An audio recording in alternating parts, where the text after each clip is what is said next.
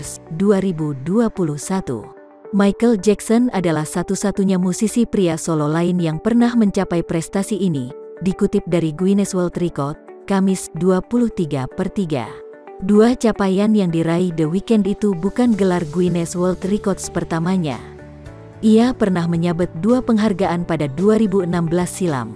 Kala itu, The Weeknd dianugerahi dua penghargaan sekaligus yakni album yang paling banyak diputar di Spotify di tahun 2015 dan artis solo pria paling lama yang secara berturut-turut bertengger di top 10 Billboard.